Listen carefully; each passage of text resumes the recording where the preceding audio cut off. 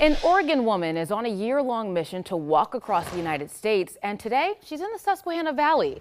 We caught up with 37-year-old Angela Maxwell on Route 462 in York County this afternoon. Maxwell started her journey at the Lincoln Memorial in April, and it will end at the Golden Gate Bridge. She's using the walk to shed light on issues girls and women around the world face, and she's raising money for the Her Future Coalition. When I finish across the states, I will have raised $100,000 to build a shelter for girls that have been saved from sex trafficking and gender violence.